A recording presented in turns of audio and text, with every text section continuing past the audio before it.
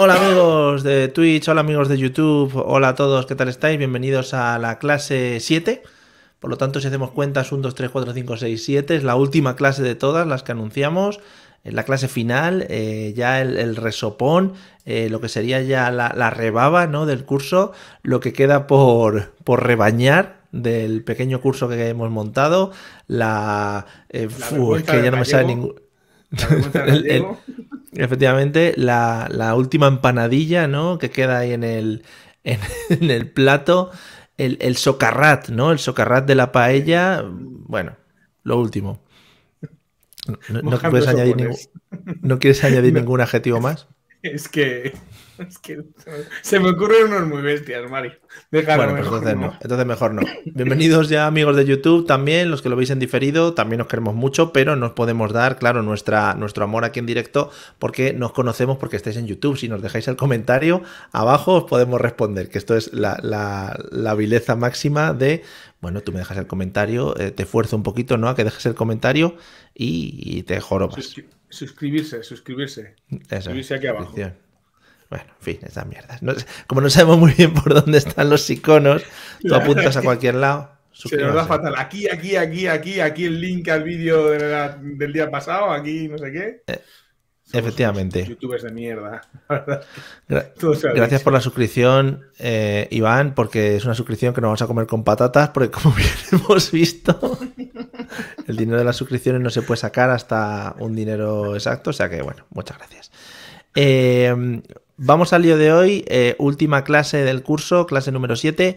Hoy vamos a afrontar un concepto súper interesante y súper importante, del que evidentemente no vamos a profundizar un montón porque no, eh, porque no, porque no podemos, ¿vale? Porque es imposible en este ratito, pero esperamos dejaros ahí con la miel en los labios para que podamos continuar hacia él eh, y, podamos, y podamos continuar aprendiendo. Entonces, lo primero de todo, como siempre, planteamiento del curso, por dónde vamos, hacia dónde vamos y con quién venimos. Y nosotros venimos de la mano, como siempre, de ID Bootcamps, que son como nuestros compañeros de viaje. Nosotros, eh, eh, en este caso yo sería Don Quijote, nosotros seríamos los Sanchos Panzas, que vamos a su lado, como siempre, pues cabalgando sin, sin descanso. con Sancho y la panza. Y juntos y juntos vamos. yo no he dicho nada. Y juntos vamos labrando un futuro y vamos, pues eso, creando ilusiones para que la gente pues, pueda crearse un nuevo futuro y pueda tener eh, pues nuevas eh, esperanzas laborales, que es conseguir un trabajo en el mundo IT o en el mundo del UX o en el mundo del eh, Data Science y Machine Learning, que son los cursos que ahora mismo estamos impartiendo. Nosotros estamos más relacionados con el curso de programación y desarrollo full stack porque, bueno, quizás somos los profesores titulares, los, los, que salimos, ¿no? Como pues los, el portero titular ahí a parar los, las diferentes preguntas que nos lanzan y las diferentes amenazas que también suelen lanzar los, los alumnos cuando estamos enseñando. Em, pero los otros cursos también súper guays para aprender pues, otras tecnologías como la tan petada Machine Learning o el Data Science, que está a tope ahora. Y así podéis aprender pues, a hablar con robots y cosas de esas.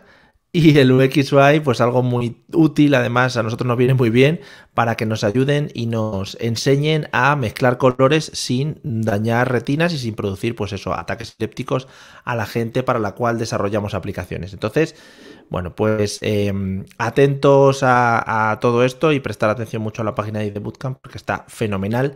Trabajamos con las últimas tecnologías, metodologías ágiles. Nosotros estamos aprendiendo continuamente para transmitiros todos estos conocimientos. Y muy importante, eh, queda todavía tiempo para eh, apuntarse a la beca 10 minutos programando. El otro día acabaron las, las, las el plazo para apuntarse a la beca de Aplázate, de Aplázate, fu, ya transfórmate, Aplázate, es que ya no sé ni lo que estoy diciendo.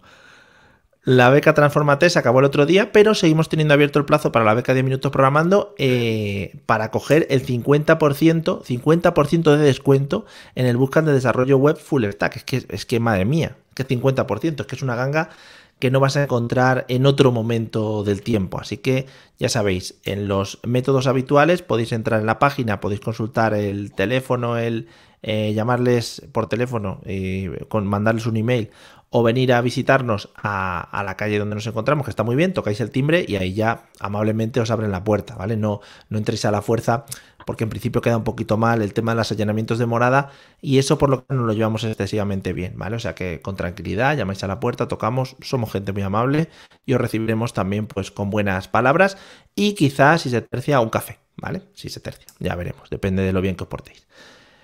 Fenómeno. Y después de todas estas maravillosas palabras y, bueno, un rato en el que yo siempre me planteo, no sé si me debo dedicar al mundo de la, de la de los comerciales, sí, y de la farándula también.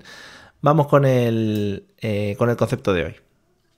bueno, mm, última clase, last date, la, la, última, como Jordan, la última, ¿cómo era? El documental. Último baile. El último baile entre Mario y yo, Mario, Mario yo, yo y Mario. Mm. Venga, entonces vamos a hablar de la programación orientada a objetos, POO o PP, depende de cómo, o, o, perdón, como depende de cómo lo llamemos, y vamos a hablar de un concepto fundamental en la programación orientada a objetos que no es un lenguaje de programación, todo hay que decirlo, es un paradigma, es una forma de programar, es una forma de usar los conceptos que hemos aprendido anteriormente eh, encapsulados en un concepto de clase y objeto. ¿Qué es esto de clase y objeto? Bueno, eh, es una extrapolación del mundo real al mundo de la programación. Al final, todo lo que nos rodea en un almacén, por ejemplo, siguiendo un poco la temática con la que estábamos hablando, eh, son objetos. Tenemos cajas, dentro de cajas hay cosas, tenemos bulldozers, los bulldozers transportan cosas, tenemos estanterías que almacenan cosas, las estanterías se juntan con otras estanterías que almacenan aún más cosas y al final pues tenemos un sistema de almacenaje súper cool y súper chulo. Bien, eh, el concepto de clases y objetos es básicamente esto. Si yo eh, lo que hago es definir una caja o una clase o un producto, lo que hago es definir en la clase, en el concepto de clase, definir un poco la, eh, las propiedades y acciones que va a hacer ese objeto. Cuando, cuando hablamos de propiedades en programación, estamos hablando de las características físicas que va a tener ese objeto eh, dentro de, ese producto. Pues tiene tanto volumen, tiene tanta capacidad, tiene tanto precio, tiene tanta eh, ergonomía, lo que sea. ¿Vale? Entonces, todo eso son cualidades o propiedades que tiene el objeto. Y luego, ese objeto tiene la facultad de poder hacer cosas. ¿Qué conseguimos con esto? Conseguimos generar lo que se llama un concepto abstracto del objeto que vamos a construir. Y a partir de ahí, a partir de esa clase, a partir de ese elemento, lo que vamos a poder es generar objetos.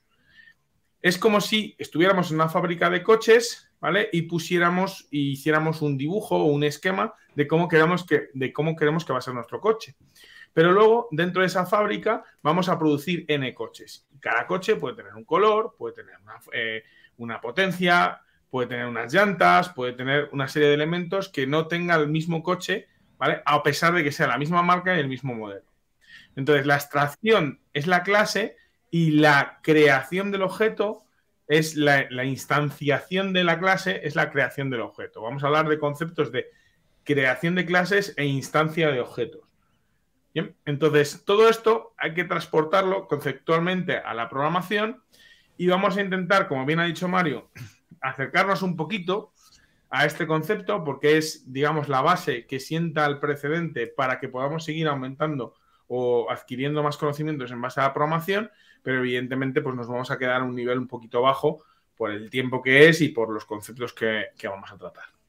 Así que lo que vamos a hacer ahora, empezando por Python esta vez, es eh, ver cómo se generan clases, donde se, donde se generan esos conceptos abstractos, esas propiedades de elementos, y posteriormente lo que vamos a hacer es instanciar esos objetos, crear objetos en base a esas clases para poder posteriormente trabajar con ellos.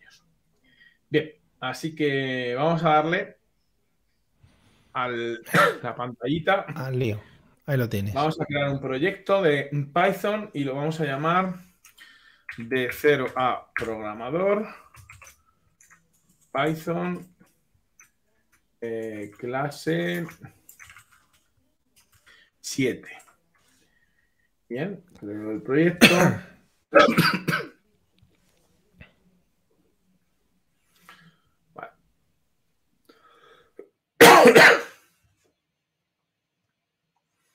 a ver que esto. Vale. Venga, vamos a. Como estamos trabajando con el concepto de almacén y producto, vamos a, digamos, a llevar a la práctica cómo se generaría un concepto abstracto, una clase abstracta de un producto y un almacén. ¿vale? Eh, el producto lo que hace es que tiene un nombre, tiene un precio, tiene una descripción del producto y luego podemos, por ejemplo, el producto tiene la acción de poder mostrarse o de poder eh, mostrar la información que tiene. El almacén va a contener varios productos. Bien, entonces eh, en el almacén podemos agregar productos nuevos, podemos listar esa lista, esa cantidad de productos que tenemos, podemos, por ejemplo, calcular el precio total de todos los productos que tenemos en el almacén, podemos hacer un montón de cosas. Entonces, la idea es eh, generar dos clases, una para el producto y otra para el almacén, y ver cuáles son las bondades de esto, de la programación orientada a objetos, en las cuales vamos a encapsular muchas de las acciones que tienen estos objetos que comentamos. Bien, para crear un objeto, para crear una clase más bien, utilizamos la palabra reservada class. Y luego lo que hacemos es eh, ponerle un nombre a la clase. Bien, si estamos generando un coche, pues la clase coche. Si estamos generando un, un, documento, la clase documento. En este caso estamos generando la clase producto y vamos a generar la clase producto.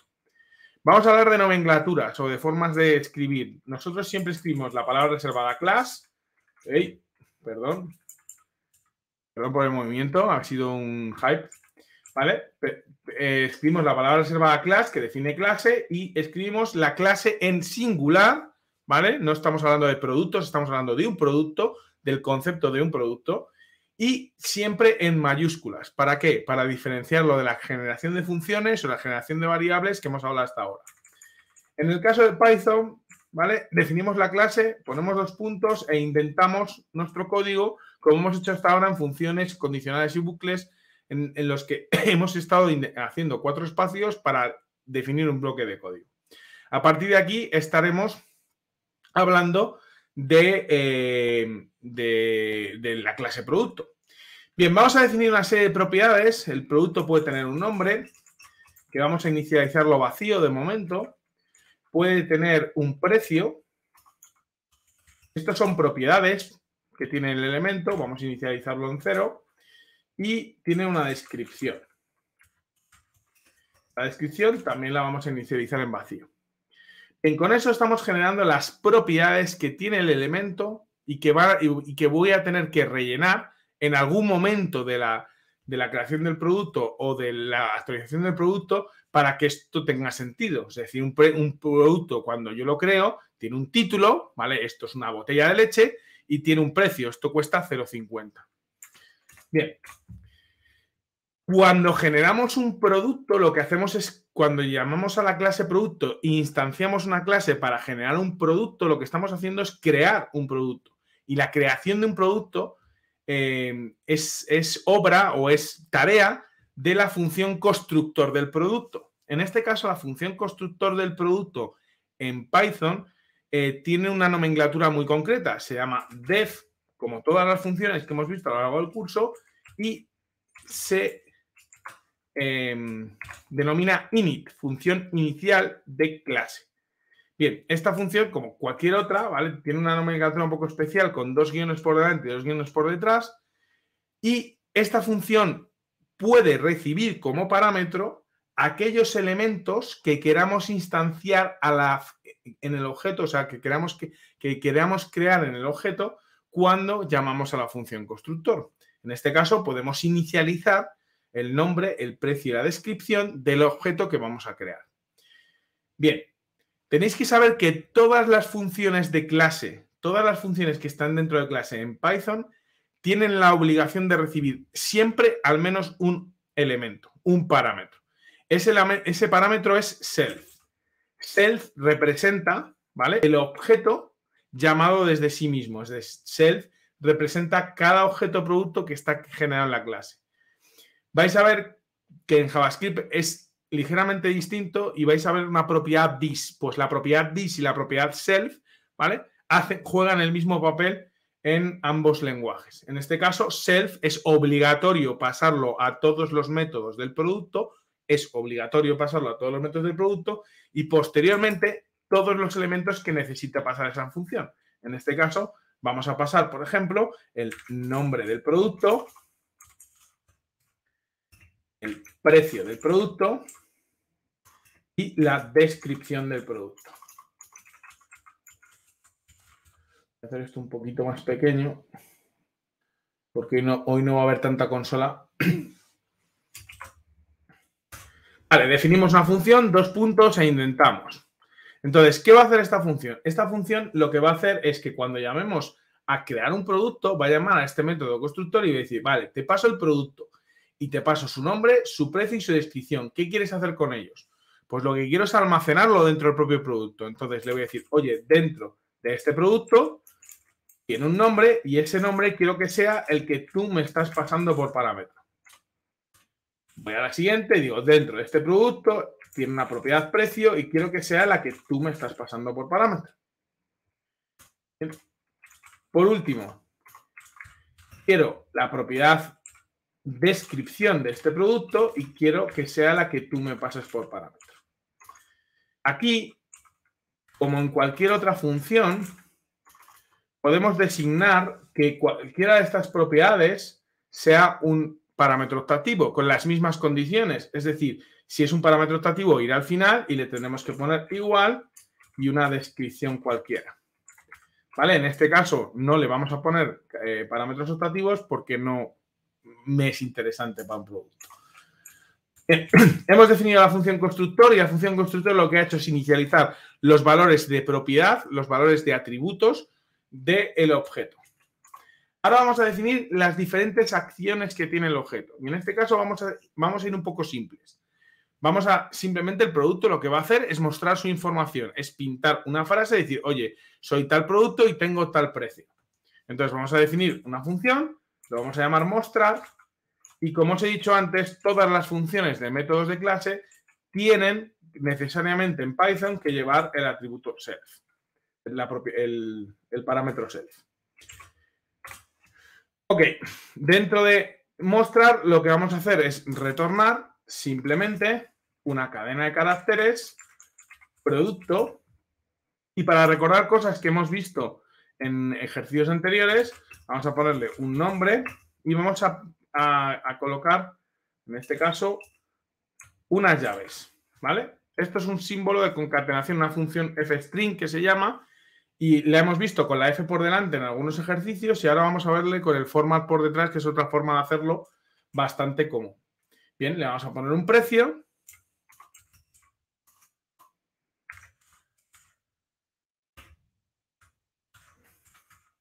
Y ya está. Entonces, queremos sacar esa, cadena de caracteres. Producto, nombre, lo que hay entre, entre las llaves tiene que ser el nombre del producto y precio, lo que hay entre las llaves tiene que ser el precio del producto. Así que le vamos a pasar format y le vamos a pasar los parámetros, ¿vale? Que queremos que sean aquí en el orden en el que salen. Si primero es el nombre y luego es el precio, primero tengo que poner el nombre y luego el precio. ¿Cómo accedo a esta propiedad? Pues dentro de las funciones, todas estas propiedades son como si fueran variables globales, son accesibles desde cualquier elemento, desde cualquier función.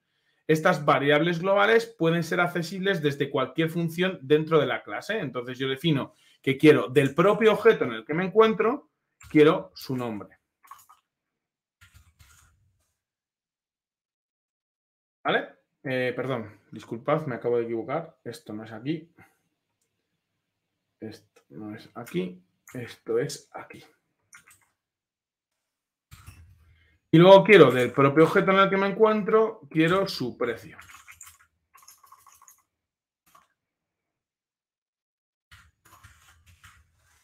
¿Vale? Estoy pintando el producto, nombre y precio.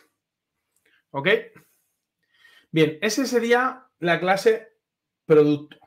Con esta clase podríamos definir un objeto de tipo producto. ¿Cómo usaríamos esta clase? Pues, por ejemplo, me salgo de la clase producto, rompo la indentación global de toda la clase y genero un producto. Lo voy a llamar producto 1. Ese producto lo que voy a hacer es llamar a la clase e instanciar el método init. ¿Vale? ¿Cómo hago eso? Pues aquí simplemente tengo que llamar a la clase producto, como si fuera una función, ¿vale? Esto lo que está haciendo es llamar a esta clase y ejecutar este método, este método init. Entonces, este método init, ¿qué recibe? Self, ¿vale? Se lo pasa a la propia clase, no hace falta que se lo pasemos nosotros. Tenemos que pasarle un nombre, un precio y una descripción. Pues le voy a pasar, por ejemplo, lápiz verde, eh, precio 12 pavos, que los lápices verdes son cremita, y descripción, un lápiz que es muy bonito y pinta muy bien. Y ese sería nuestro primer producto. Hemos generado un objeto producto a través de la instancia de la clase producto. Vamos a generar otro producto. Producto 2. Vamos a llamar a la clase producto y le vamos a instanciar elementos. Por ejemplo, vamos a poner una cebolla el lápiz y la cebolla pintan mogollón de bien. Y vamos a poner la cebolla a 5 pavos. ¿Vale? Cebolla rica, rica. Es, una tienda. Es una tienda que tiene multitud de productos, tampoco es. Es, como las de ultramarinos de toda la vida, las que hemos vivido tú y yo. Es que ahora conocemos el concepto chino, pero es ultramarinos de toda la vida. El concepto chino me parece, madre mía, ¿eh? Claro. Puedes, comprar desde un papel higiénico, un lápiz, un cuaderno para el cole, una goma de borrar. ¿Quién no compra una Roma Milan en, una, en ultramarinos? Sí, sí, pilas, por ejemplo, también. Y pilas, por supuesto. Para hacer tortilla de patata. Porque la tortilla de patata tiene que ser, por supuesto, con cebolla. No puede ser sin cebolla, como dice la Pedroche, no entremos, por favor. No entremos en la obligatoriedad. Tampoco nosotros queremos aquí ahora también ponernos en el grupo de los concebollistas porque nos estamos quitando también gente, los sin cebollistas, ¿sabes? Entonces, nosotros un poquito entre medias, ¿vale? ¿Le ponemos cebolla o no? Lo que queráis. Lo que queráis, efectivamente. He sido un poco talibán en ese momento, pero bueno. Claro, hay que, o sea, hay que, hay que arrastrar grupos de gente. El grupo de los sin cebollistas es muy grande también, ¿eh? O sea que ahí hay mogollón. Venga, sin cebolla o con cebolla, como queráis. Le puede ser para hacer tortilla patata o para hacer un revuelto de lo que sea. Venga, perfecto. Ya tenemos la clase de producto y hemos generado dos productos eh, de, este tipo de elementos. Fijaros, si yo hago ahora un print, por ejemplo, y pinto el objeto producto, en Python eh, no me va a salir ningún valor raro, me va a salir eh, clase objeto, mirad. Me va a salir aquí un main producto object y no voy a tener ningún, simplemente una dirección en memoria, queda un poquito eh, raro, pero sí que puedo, por ejemplo, acceder a la propiedad nombre del objeto. Digo producto.nombre y estoy accediendo a la propiedad lápiz verde. Bien, aquí hay un concepto importante que me vais a dejar que, que, me pare un poquito porque sí que es algo distinto de, de cara a JavaScript o al menos en JavaScript nativo Luego en TypeScript sí que tenemos este concepto, que es el concepto de eh, propiedad privada, ¿vale? Atributo privado. Si yo cojo y pongo nombre, descripción, descripción, y escribo bien, por supuesto, ¿veis? Me sale un lápiz que es, que es muy bonito y pinta muy bien. Pero si yo a este concepto le pongo guion guion bajo, lo que estoy haciendo es poner esta propiedad como privada. Solo es accesible dentro de la clase, no fuera de ella. Aquí estoy ya fuera de la clase, no estoy dentro de la clase. Entonces, si intento hacer descripción, me va a dar un error, por supuesto, me va a dar vacío. Y alguno puede pensar, ya, Juan, pero no me vaciles, tío. Aquí te le has puesto dos guiones, pues ponle aquí dos guiones. No, esto no es mm, dónde está la bolita, esto no son trileros, esto es que realmente, aunque yo le ponga algo guion bajo, ¿vale? Me va a decir que no existe esa propiedad o que es una propiedad que no tenemos disponible. Bien, para ello, para poder acceder a esta propiedad, lo que podemos hacer en una propiedad privada es crear un método dentro de la propia clase que sea mostrar descripción. Esto es lo que se conoce dentro de la programación orientada a objetos, insisto, y sin entrar mucho en detalle, como getters y setters. ¿Vale? Los getters me permiten eh, mostrar información, como en este caso, los setters me permiten modificar información, que sería modificar la descripción. Y lo que hago es retornar el valor de self punto bajo descripción que aquí sí que está disponible dentro de mi objeto. No nos olvidemos que cualquier método que instanciemos tiene que tener el elemento self. Bien, fijaros que lo que estoy haciendo es crear un método que me permita sacar la descripción fuera del objeto. Y si yo ahora hago print, llamo a producto.1 y llamo al método mostrar descripción, Ahora sí, aunque yo no tengo acceso a la propiedad de descripción, he creado un método que me permite vislumbrar ¿vale? el, valor de descripción. Ahí lo tenéis. ¿vale? Esto es una propiedad privada que solo puedo acceder a ella dentro de los métodos de la clase y trabajar con ella a nivel interno. Eso no quita para que tengamos una función que me pueda mostrar o trabajar con este valor de forma interna. Bien, vamos a comentar todo esto. Y vamos a continuar con el siguiente objeto. Hemos dicho que íbamos a crear, voy a dejar el producto, hemos dicho que íbamos a crear una, clase producto y una clase almacén donde, donde guardemos los productos. Entonces voy a utilizar de nuevo la clase reservada almacén, la palabra reservada almacén, eh, class y la palabra almacén. Como hemos dicho, en mayúsculas y en singular. Bien, tenemos que definir propiedades, nombre, Eh, dirección del almacén.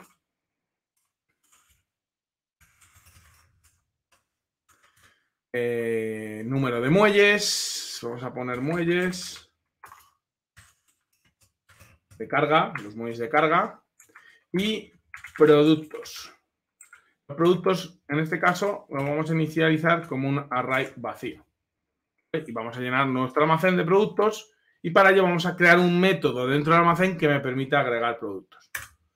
Bien, definimos el método constructor de la clase, método init.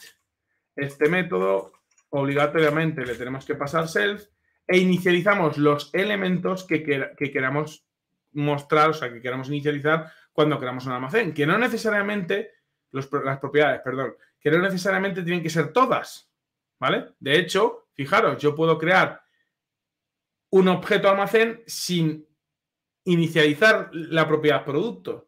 Yo le voy a decir que le voy a pasar un parámetro nombre, un parámetro dirección y un parámetro muelles.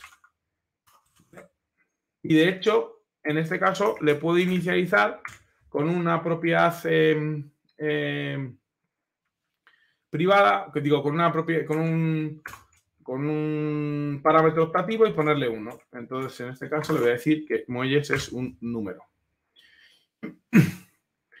Perfecto. Porque al menos un almacén tiene un muelle de carga, si no, no podría almacenar nada. Perfecto, entonces vamos a inicializar los elementos. Self.nombre es igual a pnombre. Self dirección es igual a p dirección eh, self punto muelles es igual a p muelles.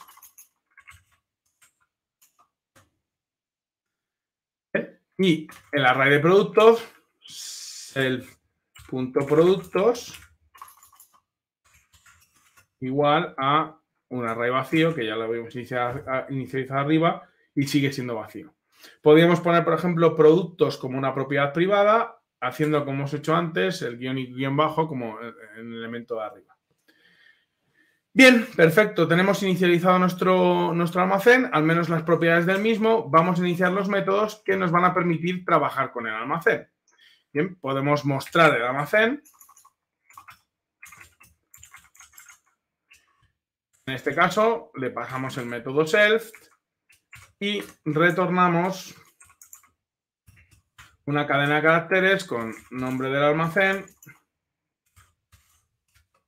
dos puntos, vamos a poner las llaves, dirección, yo sí que voy a poner acentos que puedo, Mario no, dirección, lo que no puedo poner es el, lo del concepto de número, así que lo tengo aquí preparado para copiarlo. Este, el orden. No me deja el teclado, no sé por qué. No, Madre mía. Eh, Nos están boicoteando. Sí, sí, entre que se me rompe el ordenador y que no me funciona bien el teclado, pues ahí voy, voy genial. Venga, número de muelles igual. Ahí lo ponemos y vamos a poner también número de productos. Número de productos. El número de productos, dos puntos y también le ponemos la llave format. Y en el estricto orden, primero nombre, luego dirección, luego muelles y luego productos. Vamos a poner self.nombre, coma, self. Eh, dirección, coma, self. muelles, coma. Y vamos a poner en número de productos no vamos a poner evidentemente productos, vamos a poner la longitud, length de los productos. En recordar que length me dice la longitud de un array, en este caso productos es una lista, lo que vendría a ser en Python una lista. Muy bien, perfecto, ya tenemos el método mostrar y vamos a agregar productos a nuestro array de productos. Así que voy a crear un método, agregar productos.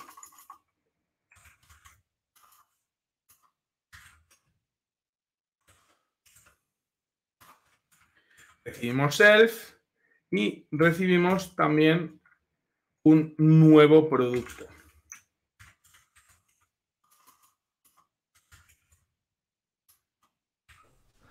Las diferentes formas de escribir la palabra producto. ¿eh? Yo tengo varias. Tengo Producuto, Productcore, Procuror.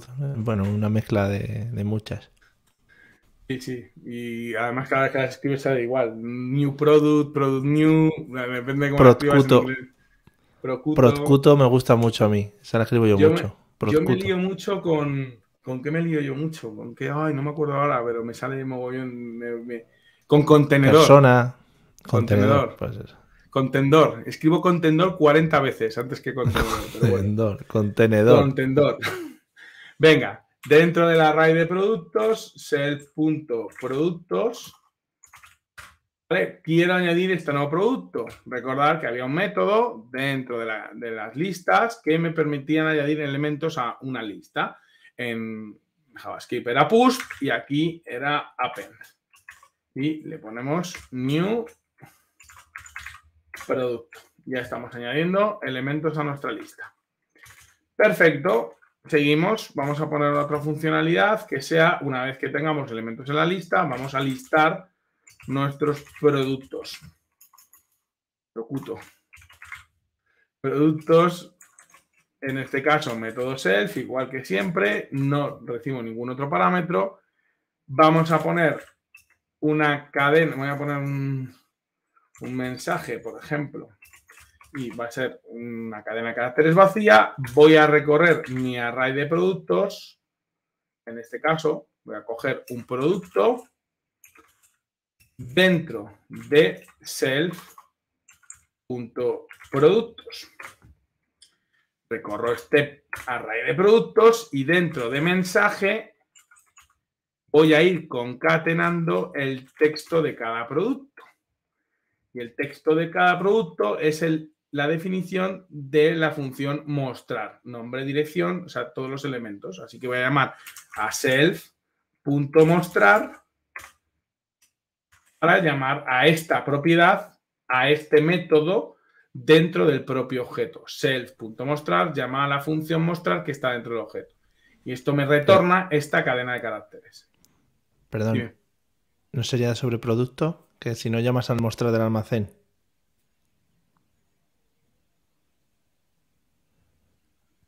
Ah, sí, Está perdón. recorriendo- Sí, sí, sí, sí. sí, sí, sí, sí, disculpad. Porque si no te va a salir repetido muchas veces.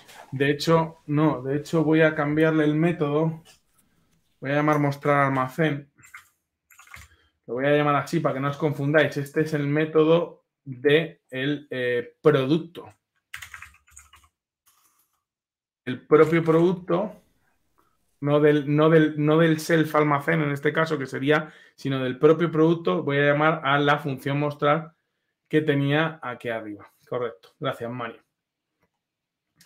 Bien, y como no tengo aquí una interfaz, lo que voy a hacer es un retorno de carro y los retornos de carro se hacen sumando una cadena de caracteres, la barra n, que igualmente en mi teclado actual no funciona, así que la copio y la pego.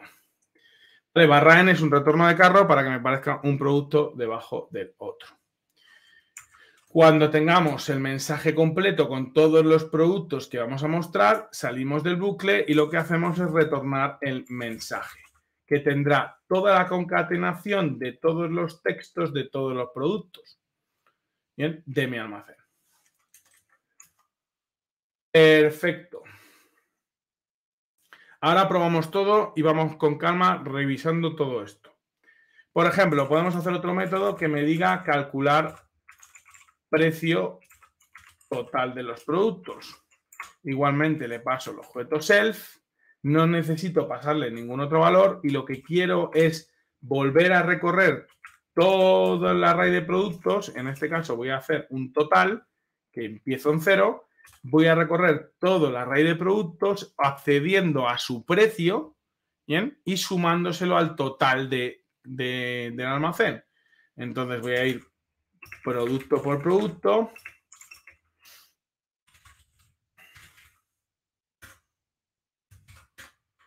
Voy a coger total y le voy a decir, oye, a total le sumas del producto que cojas el precio que tenga. Cuando acabes de recorrer todos los productos, retornas el valor total de la suma de todos los precios de los productos. Bien, y yo creo que no me voy a complicar más. Vamos a empezar a probar todo esto, que aquí ya sí que hemos hecho más métodos. Hemos hecho un método para inicializar el almacén. Hemos, hemos hecho un método para mostrar la información del almacén. ¿Vale? Hemos eh, hecho un método para agregar productos al almacén, para listar esos productos y para calcular el precio total. Bien, pues vamos a crear un almacén. Vamos a crear un objeto de tipo almacén. Bien, recordar que aquí arriba teníamos ya dos, dos, productos creados que tenemos que meter en el almacén. Bien, vamos a salirnos fuera de la clase. Acordaros de intentar, de romper la indentación hasta el final, que si no da fallo en Python.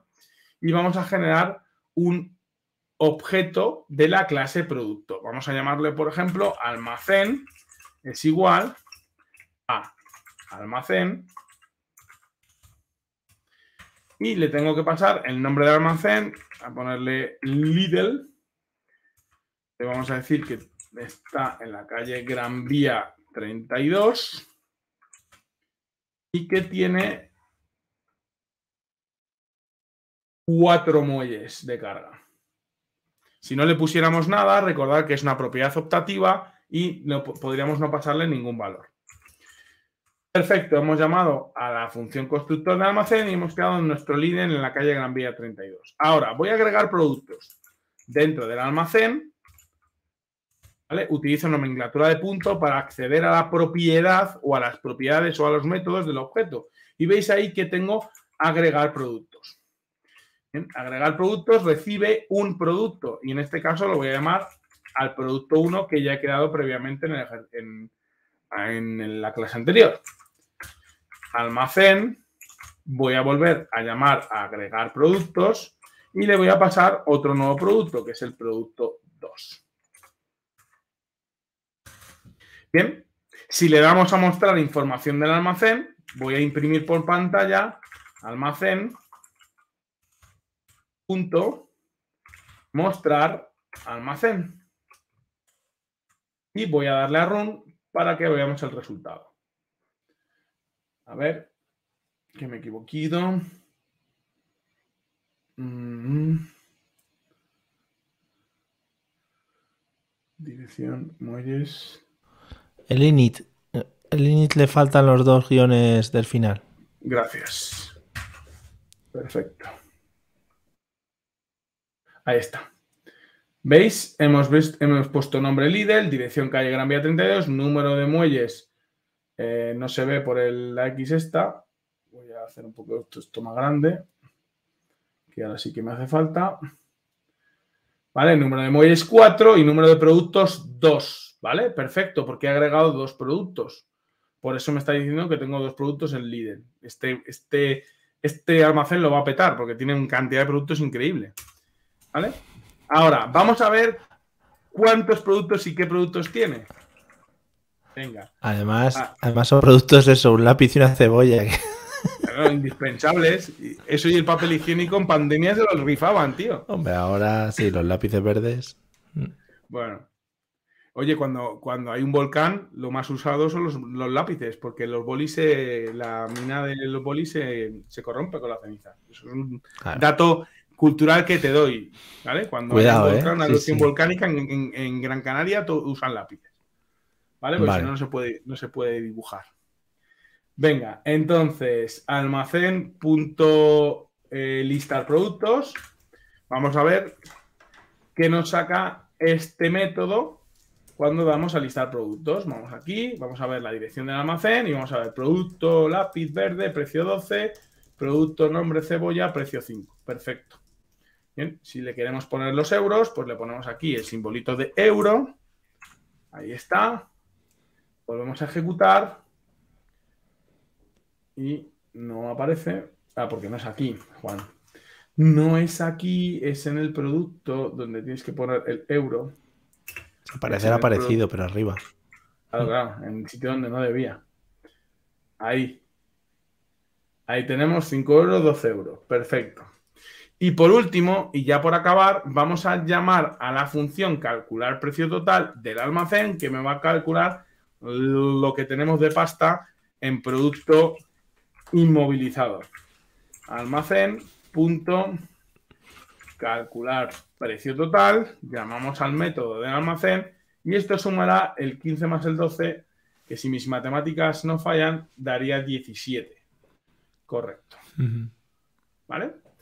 Y con esto lo que hemos visto es cómo encapsulamos funcionalidad dentro de una clase, podemos generar varios objetos y podemos, por ejemplo, intentar generar otro almacén que sea Mercadona, que esté en otra dirección, que tenga 17 muelles y que tenga 3.000 productos. ¿Vale? Y que la información de los productos dependa del propio producto y tengamos métodos para mostrar la información de dicho producto, modificarlo, actualizarlo o lo que sea. Es una forma, eh, la programación orientada a objetos es una forma de encapsular que me permite hacer este tipo de cosas. Y yo creo que Mario lo vamos a dejar aquí por hoy en Python. No sé qué te parece. ¿Cómo lo ves? Pues fenómeno. Además, guay, porque ya hemos explicado todos los conceptos. Entonces vamos a ir ágiles, un poco viendo cómo transformar esto que has hecho tú a lenguaje JavaScript, ¿vale? Así que te quito la pantalla y me vengo a la mía. Y además cambiamos el overlay ahí abajo. Ahí estamos. Fenomenal, ¿ha visto la producción? Qué maravilla. Parece que, tenemos diners y todo. Entonces, eh, vamos a crear el REPL para, para, empezar con el tema de JavaScript. Vamos a hacer un poco lo mismo de 0 a programador, guion bajo JavaScript, guion bajo clase 7. Eh, y en este caso vamos a intentar replicar lo mismo, ¿vale? El mismo escenario en el que nos hemos encontrado con Python, pero en este caso como lo haremos en JavaScript. Es muy parecido, ¿vale? Muy parecido. La idea es crear igual la clase producto, crear la clase almacén y luego generar productos y generar almacenes, ¿vale? Esto es una forma de hablar cuando estamos trabajando con programación orientada a objetos constantemente estaremos hablando de voy a crear un producto, voy a crear un almacén. Realmente ni estoy creando productos ni estoy creando almacenes. Sería yo la hostia si fuese creando almacenes ahí, piedra a piedra, no poniendo los cimientos, sería la leche. Lo que estoy diciendo es ese paradigma, esa abstracción que comentaba Juan al principio, hacerlo en el mundo de la programación, tener una plantilla para cómo eh, crear productos, otra plantilla que nos indica cómo crear almacenes y a partir de ahí ir generando cada uno de ellos. Entonces, ¿cómo lo haremos? Pues molaría un montón si fuese yo un mago ahí que fuese creando almacenes ahí. También se les llama albañiles a la gente que crea este tipo de cosas, arquitectos, en general, gente que forma parte de, la creación de estructuras grandes. ¿Cómo creamos en nuestro... ¿El mago? El mago pop. Sí, sí, sí. El mago pop que hace mucho truco con espejos, ¿eh? Que me han dicho, ¿eh? hace mucho truco con espejos. Bueno, en fin. Para crear la clase producto, igual utilizamos la palabra reservada class, ponemos nombre a la clase producto, normalmente sintaxis es eh, camel case, no me sale la palabra, por lo tanto la primera letra en mayúsculas, eh, igual que en Python, ¿vale? Lo que pasa es que en este caso lo que sí que vamos a utilizar, al ser JavaScript, ¿vale? Pues para definir el ámbito de la clase, las llaves de apertura y cierre. No hace falta definir las propiedades fuera y lo que sí que tenemos es un método, al igual que en Python teníamos el init, aquí disponemos de un método constructor. Constructor. Este método constructor es ese método que se va a ejecutar cuando nosotros creemos un objeto de tipo producto, ¿vale? De tipo producto. Bien, en este método constructor yo le tengo que pasar los parámetros o los valores iniciales, ¿vale? Aquí le pasaremos el nombre del producto, le pasaremos el precio del producto, y le pasaremos la descripción del producto. Como decía Juanan, aquí quizá no tenemos la dependencia de ese self, de tener que pasar el método, perdón, el atributo self a cada uno de los métodos, sino que ya lo inyecta JavaScript automáticamente. Y si quiero inicializar las propiedades de un objeto producto en este caso, simplemente con la palabra reservada this lo podemos hacer. Tampoco tenemos la dependencia o tampoco tenemos la posibilidad de crear, por lo menos de manera nativa de momento, eh, propiedades privadas, ¿vale? Está en una etapa de esas beta y no sé qué, y dentro de nada supongo que aparecerá, ¿vale? Pero de momento no se pueden crear de manera nativa, sino que habría que trampearlas un poco, pero tampoco es demasiado interesante. Damos de alta el nombre y le pasamos el valor de la propiedad nombre o del valor nombre que nos esté llegando como atributo, damos de alta el precio y le pasamos el atributo precio y damos de alta la descripción, descripción y le pasamos lo que nos venga por parámetro. Entonces, fenomenal, ya tenemos el constructor del producto.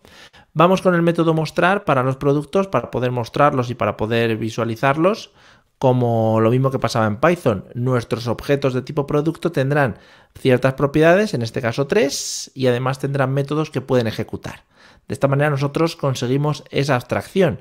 Evidentemente eh, no estamos hablando de, eh, de, juegos ni de traernos esto en un entorno 3D ni nada por el estilo. Son todo datos que estamos manejando, ¿vale?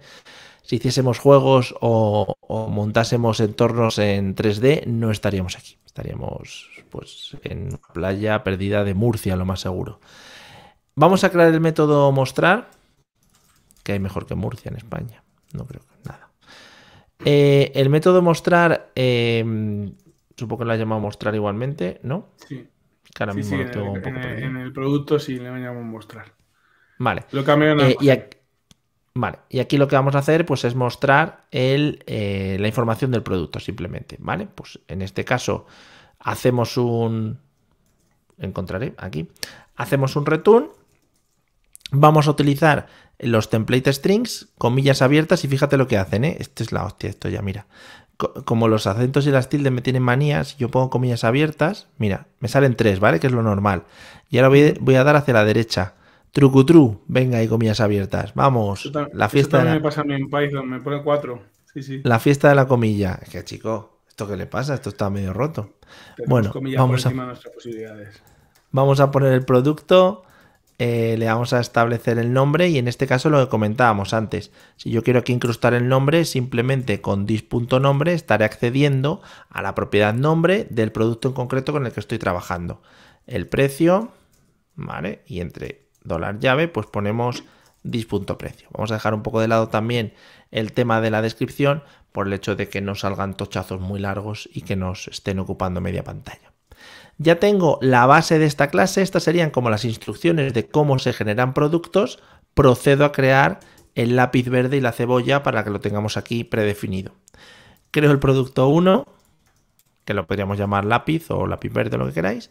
Y aquí tenemos que utilizar la palabra reservada new, muy importante. Además, esto se aproxima a otros lenguajes como Java, por ejemplo, en el que se utiliza esta palabra reservada para crear ese tipo de objetos. Y además hay objetos en JavaScript, por ejemplo, em, como arrays, dates, todo este tipo de objetos que también se crean a partir de la palabra new. Creamos nuestro objeto producto y ya nos está pidiendo el nombre del producto, en este caso le voy a poner con tilde, pero ya me venía abajo, el lápiz verde, que costaba sus maravillosos 12 eurazos o dólares, lo que queráis, y la descripción, pinta increíblemente bien, punto, lo flipas. Que es descripción de eh, Wallapop. O sea, esta la podéis encontrar en Wallapop, en cualquier producto que vendáis, que compréis. Un lápiz verde mismamente. Y el segundo producto que vamos a generar, el producto 2, es la cebolla, igual que antes, cada vez que yo quiera generar un objeto de tipo producto, le hago un new y tiro para adelante con el constructor. Se ejecuta el constructor, aquí va a venir cebolla, cebolla de colores. ¿Has visto que muchos tipos de cebolla, no? Hay cebolla de colorines, la morada está muy buena. Está dulce, ¿eh? dulce y morritos. Cinco pavazos de cebolla, porque nosotros no vendemos aquí cosas malas. Y eh, para los más tortilleros. ¿Vale? Ahí queda para la gente que hace tortillas, ¿vale? Una vez tenemos estos productos, los vamos a probar para ver si tenemos algún tipo de error. Vamos a intentar mostrarlos. Este mostrar de aquí arriba me devuelve un string. Por lo tanto, si yo ejecuto la función y lo meto dentro de un console log, por ejemplo, sobre el producto 1, puedo llamar a su función mostrar, meterla dentro de un console log y como me devuelve un string, ¿vale? Como me devuelve un string, eh, ya ves cómo están, están entrando en el chat los sin cebollistas, creo. Eh, si le echas cebolla a la tortilla, yo he hablado todo lo que tenía que hablar con usted. Esa es una amenaza que nos están lanzando los sin cebollistas ahora mismo, representados por Ceurín, como, como su tótem. Sigo. Eh, hacemos el console log, le damos a run y abajo pues aparece el producto, el nombre, el lápiz verde y su precio 12 euros. ¿vale? Por lo tanto, la clase producto ya la tendríamos, sus propiedades predefinidas y luego la función mostrar pues, para hacer una acción sobre el producto y en este caso mostrar su información. Paredísimo a lo de Python, incluso aquí nos quitamos el tema de las propiedades, que a mí me parece muy cómodo el tener las propiedades definidas y en TypeScript además es una cosa que nos obligan, el poder ver las propiedades aquí arriba como un mapeo de las propiedades que tiene este, este objeto, esta clase, pero bueno, JavaScript tampoco le podemos pedir tanto al muchacho porque es nuevo en estos leads, nuevo de hace ya como unos 5 o 6 años. Que siempre se habla, amigos, no os dejéis engañar, si os hablan de JavaScript S6 como nuevo, mirad el año en el que salió JavaScript S6 y empezad a reír si eso os parece nuevo. Ya tiene más años que la TAN, ¿vale? O sea que no os dan cosas y cursos diciendo que os van a enseñar el nuevo JavaScript S6, que es muy antiguo. Vamos con la clase almacén. Nombre, palabra reservada class, creamos el nombre de la clase, almacén, igual que en Python, exactamente igual, el mismo concepto. Creamos el constructor, en este caso es el método que se va a ejecutar cada vez que creemos un almacén y le vamos a poner el nombre al almacén, le vamos a pasar una descripción, descripción y los muelles, que esto lo puse como atributo, antes ha llamado la atención, lo puse como atributo... Em, es que ah, vamos a, vamos a hacer un pequeño paréntesis ahora. Por favor, ponlo, un paréntesis al comentario porque merece la pena, por favor. Teurín dice así: eh, A mí me encantan los langostinos, me flipan los langostinos, sobre todo fritos con gabardina. Me vuelven bajar los langostinos fritos, pero no se lo he hecho a los choco crispies por la mañana.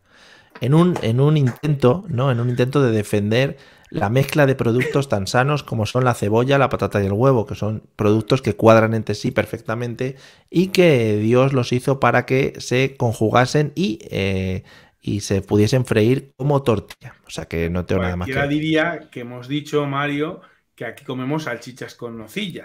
Es decir, hemos mm. dicho tortilla de patata con cebolla, pero langostinos mm. con choco crispy es como si mezclas salchicha con nocilla. de todas maneras, de toda la vida es, de toda la vida sabido que si te gustan las salchichas y te gusta la nocilla, juntos tienen que estar buenos. Se juntan al final aquí dentro. Da igual. Sí, verdad. Bueno, en fin. Vamos a inicializar las propiedades como hemos hecho en Python y como hemos hecho con el objeto producto. Inicializamos la propiedad nombre y le ponemos como valor el pnombre. iniciamos la propiedad descripción y le ponemos descripción, descripción, inicializamos los muelles, también podríamos uy va, ¿qué hago? También podríamos trabajar con propiedades optativas, aleatorias, estas que no aleatorias, no, optativas, aleatorias, si queremos poner cosas aleatorias, vaya nosotros. Y aquí, por ejemplo, nuestro array de productos, al no tenerlo definido aquí arriba, es como que le perdemos un poquito el, hilo, le perdemos un poquito a que no tenemos esa propiedad, pero la tenemos que inicializar igualmente. El array de productos quedará inicializado de la siguiente manera, como un array vacío, punto. ¿Vale? Definimos todas las propiedades, las tres primeras vamos a recibir sus valores en el constructor, de lo que nos devuelva el constructor. Eh, y por último, creamos el array vacío de productos para poder ir agregando productos. Así que vamos a hacer justo eso. Un metodito que me permita agregar un producto. Venga, voy a empezar a escribir la palabra producto de mil maneras. Lo he escrito bien, pero lo estoy borrando. Producto. Le vamos a pasar por parámetro el nuevo producto. Ponerlo en castellano ya que estoy. Nuevo producto. Como ha dicho Juan antes, sobre el atributo productos de este objeto, le hacemos un push y le agregamos el nuevo producto que le vayamos a pasar por parámetro. Cuando luego generemos el almacén, lo que haremos será llamar a este método y pasarle tanto el lápiz como la cebolla de 5 pavos.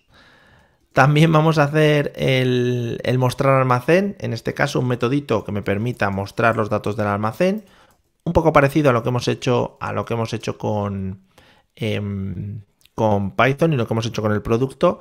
Fijaos que en este caso, ya aquí nos quitamos un poco la dependencia del self, automáticamente nos lo inyecta JavaScript dentro de la, de la estructura, que no sé si eso, bueno, al final entiendo que te acabas acostumbrando cuando trabajas con ello en Python, pero si vienes de otras plataformas, otras tecnologías, te resulta un poco raro, ¿no? El tener que inyectar ahí en el método cada vez el self es un poco extraño. Sí, a mí, a mí me resulta extraño a día de hoy todavía me resulta extraño, pero sí que es cierto que tiene su utilidad porque, por ejemplo, cuando estás trabajando con eventos en JavaScript, tienes que andar convirtiendo el objeto dis del evento en, el objeto. Entonces se complica un poco más la cosa. ¿Sabes? Utiliza la dependencia de dis que tiene JavaScript. En este caso, Python la soluciona de esta forma. Sí, sí, sí. Guay. Pues venga, retornamos un string con nuestro play Gracias. No, no, que bien. no, no, no, ya, que sí, que sí, que está, está, estoy de broma, hombre. Creamos un string como antes, con los datos del almacén, ¿vale? Vamos a ponerle el nombre, muy parecido a lo que hemos hecho antes en el producto, con dis.nombre. Eh, pondremos también la dirección, con dis.dirección. Dirección. ¿vale? Sí que tenemos dirección, ¿no? Porque aquí me está... Le he puesto descripción al almacén, fenómeno. Ya decía yo que no me estaba autocompletando. Dirección. Y aquí... P dirección. Truco. Ahí está, fenómeno, ahora ya sí. Eh, dirección. Le ponemos los muelles. Importantísimo, ¿eh? Saber los muelles de un almacén si es un almacén que vende muelles inclusive, eh, imaginaos, ¿no? Los muelles dentro de... Bueno, sería un, un Inception de la hostia. Muelles y luego el número de productos, ¿vale? A ver si me el ordinal. Sí, me pone el ordinal, número de productos. Eh, y ponemos pues el array productos y accedemos a su longitud, pues length. ¿Vale? Ya lo tenemos. Ya tenemos el almacén, ya podemos mostrarlo. Vamos a hacer unas cositas más como hemos hecho en Python, simplemente para que veáis la diferencia, pero es que es extremadamente parecido. Es decir, vamos a tener que iterar todos los productos para sacar su descripción, perdón, su descripción o su método mostrar, y luego para calcular el total exactamente lo mismo. Entonces, eh, creamos un método listar productos. Bien, lo que hacemos es crear, como ha hecho Juana, en un mensaje, vacío, un string que luego iremos rellenando. Recorremos todos los productos con el for que más rabia nos dé. En este caso me da más rabia el for of y tiene más sentido, ¿vale? Porque si hacemos un for of, al final entendemos que más o menos estamos recorriendo un array normal y que vamos a estar sacando los objetos de manera independiente, o sea que, bueno, pues tiene mucho sentido. Y en el mensaje concatenamos el string que nos devuelva, perdón, aquí lo he llamado productos, el objeto producto punto llamando a su método mostrar. Ahí lo tenemos. Retornamos fuera el mensaje y ya tendríamos, ya digo, una funcioncilla que eh, creando un string desde cero recorra todos los productos, para cada uno de esos productos llame a su método mostrar, por lo tanto la descripción del producto, el precio y el nombre, y luego me retorne ese mensaje con todo eso que hemos concatenado. Y el cálculo del total, pues prácticamente lo mismo. Llamamos a calcular total, total, ¿eh? calcular total. Em, la dislexia que tenemos en los dedos los desarrolladores es algo que tenemos que empezar a mirar, como vamos muy rápido y atropellados. Fíjate, si tuviéramos máquinas de escribir como las antiguas, ya iríamos más lentos y nos preocuparíamos en no equivocarnos. ¿Te imaginas programar con una máquina de estas de... Sí, con, los teclados mecánicos pasa un poco eso, ¿no? Que como tienes más, recorrido, bueno, no está tan duro, menos? Ah, bueno. No, no, yo creo que te equivocas más con el teclado ah, mecánico que con los teclados planos. Vas mucho más rápido con los teclados planos. Sí, sí, puede ser. Bueno, eh, creo una variable con el total, lo pongo primero a cero y retorno ya para dejarlo preparado. Esto me gusta mucho, ¿eh? crear la variable y luego retornar y luego hacer cosas entre medias. Creamos el for, recorro el array como antes, exactamente igual. dis.productos. Y vamos sumando. Al total le vamos sumando el precio de cada uno de los productos. Ahí lo tenemos. Hola, señor Steffel. Esto está hecho con JavaScript. Antes lo hemos hecho con Python, revísate el vídeo y lo hemos hecho con Python y ha quedado nikeliki. Y esto lo estamos haciendo con JavaScript. JavaScript, que es muy moderno. Eh, vale, pues ya tenemos la clase almacén. Vamos al lío, ¿vale? Voy a crear el almacén. Creo el almacén al, igual que antes, new y nombre de la clase. Almacén. Vamos a crear igual el Lidl para que veáis la diferencia. La dirección Gran Vía 32 ya lo hemos puesto antes, por lo tanto pues está en el mismo sitio, claro. Eh, y por último el número de muelles que tendrá, pues eh, desde que lo hemos hecho en Python ahora ha crecido y ahora tiene 5, ¿vale? Un muelle nuevo que lo acaban de, instalar. Vamos a mostrar el almacén primero. Como hemos hecho con los productos antes, voy a intentar sobre la variable almacén, tirarle al método mostrar almacén para ver qué nos devuelve, para ver si hay error, eh, para, ver si, para ver si tenemos algún tipo de problema. Le damos a run. Lo que pasa es que, señor Stealth, hoy es la última clase. Pero si te pasas por de cero a programador.com tenemos los vídeos anteriores y los puedes ir echando un vistazo. Ahí vemos el nombre del almacén con el número de productos que tiene. No hemos agregado ningún producto, así que procedemos a su agregación. Sobre el almacén que hemos creado, ¿vale? Y, fijaos además el verbo o los verbos que utilizamos, ¿vale? Utilizamos palabras como de lo más normal y de lo más habitual si estuviésemos trabajando con almacenes reales. Del almacén que hemos creado le agregamos un producto y en este caso agregamos el producto que se llama producto 1. Al almacén que hemos creado le agregamos el producto 1. Igual al almacén que hemos creado le agregamos el producto 2. Ahí está. Si vuelvo a ejecutar esto, lo lanzamos y vemos que aquí abajo ya nos devuelve que tenemos dos productos almacenados, cosa que está fenomenal.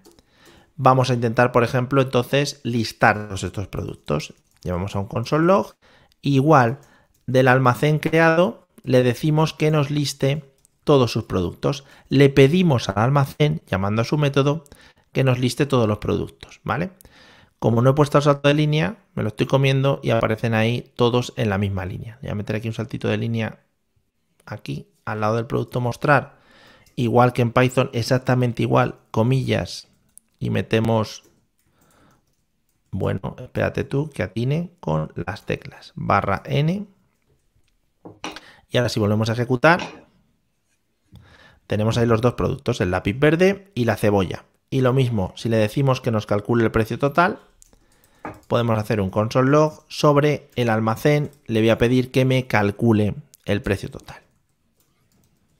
Y pues lo mismo, tenemos unos 17 euritos si os queréis llevar un lápiz verde y una cebolla maravillosas eh, bañadas en oro, porque la cebolla está, pues además de hacer unas tortillas que flipas, está bañada en oro y la podéis luego reutilizar para lo que queráis. Entonces el concepto es exactamente igual. Las funciones son prácticamente las mismas, cambia en varias cositas el tema de la sintaxis. Quizá, y yo no sé si a ti, según me estabas hablando tú antes, eh, yo, he, yo, he, pensado que, que, el concepto de programación orientada a objetos quizás es uno de los que más me costó a mí pillar al principio porque es como algo muy raro y diferente a lo demás. No sé si te pasó algo parecido.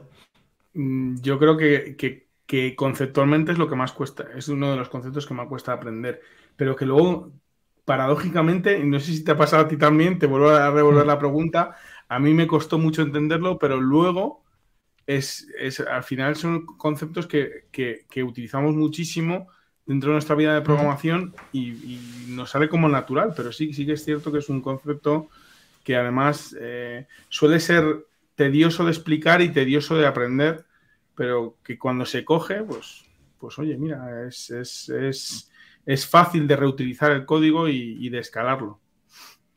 Si te cambia el chip en la cabeza y empiezas a ver, pues eso, como en Matrix, ¿no? Empiezas a ver objetos ahí que se empiezan a cruzar y a intercambiarse información y dices, madre mía, ya estoy en el mundo del en el mundo objetil y a partir de ahí pues empiezas a disfrutar con todo este mundillo. Claro, bueno, es que tiene el sentido de tengo un objeto y tiene una función mostrar, pues este objeto se muestra. Pero claro, es un concepto que dices, a la acción de mostrar no pertenece al objeto. O sí, bueno, es una, es una dicotomía eh, de la programación. Hay que reestructurarse la cabeza, sí. Eh, creo que el último comentario de Zeurin es digno de ver. Eh, confundo a mi madre con un punto TS desde que conocí la programación entre objetos. La idea de mezclar familias y personas reales con, con objetos y programación también está, está bastante bien. Bueno, eh, pues nada, oye, hasta aquí hemos llegado. Creo que ha sido un buen cierre. Para los que lleguéis justo en este momento, ¿vale? Eh, tenemos seis clases anteriores más la de hoy, siete, colgadas en nuestro canal de YouTube. Eh, si le dais a comando YouTube aparece por ahí. Eh, y podéis entrar también a la página de ceroprogramador.com, que es donde hemos ido dejando el reflejo de todo esto que hemos ido haciendo en este curso. O sea que cualquiera que se quiera introducir en el mundo de la programación creo que puede dar un paseo muy agradable por esos vídeos y además de aprender a programar nos puede ver a nosotros qué es lo que hace agradable el paseo, quiero decir. ¿no? Gente tan guapa en YouTube nunca se ha visto. Efectivamente, efectivamente, está... Bueno, tres o cuatro más, poquitos más. Sí, poquito eh, más. Eh, bueno, no lo sé. Eh, esto no sé qué quiere decir. ¿Algo que, que agregar en, como discurso final del curso? Nada, simplemente agradeceros a todos los que habéis estado con nosotros en directo. Eh, nos lo hemos pasado muy bien preparando el curso y, y, haciéndolo. Espero que realmente a muchos de vosotros os haya picado el gusanillo de la programación y a partir de aquí pues sigáis creciendo eh, todo lo que podáis y más, porque bueno, es una profesión bastante bonita y, y es frustrante, pero, pero, tiene sus encantos. Y nada, lo, único así que pediría es, pues eso, que si nos dejáis algunos comentarios sobre, sobre los vídeos, sobre, y sobre todo sobre ideas que os gustaría que, que hiciéramos en el canal, en Twitch en, o, en, o en YouTube, pues estamos ávidos de ideas y con ganas de, de, hacer cosillas, así que por favor, no os cortéis. Efectivamente, tenemos que pensar nuevas ideas, series para el canal de Twitch, quizá un poquito más relajado que esto, que hemos estado a saco durante, durante tres semanas. Eh, pero bueno, eh, muy agradable haberlo pasado con vosotros. Gracias a los que nos habéis asistido y nos habéis aguantado en directo. Gracias a los que nos veis y nos comentáis, sobre todo en diferido. Y nada, pues lo que dice Juanan, eh, suscribo sus palabras, que también es una frase que nos gusta mucho decir el uno del otro. Y, y, y nada, que, que subscribe, cualquier. Subscribe cualquier idea que nos queráis lanzar o cualquier reto que nos queráis plantear o cualquier cosa que os interese, lo podemos ver por aquí sin ningún tipo de problema porque además a nosotros nos hace mucha ilusión tener estos ratitos. Gracias a todos y nos vemos pronto y nada, vamos a cortar el chiringuito y ya nos veremos por ahí, por esos mundos internauticos, presenciales o por donde queráis. Hala, adiós amigos. Gracias, besos, adiós. Chao. Un placer. Chao. A descansar, adiós.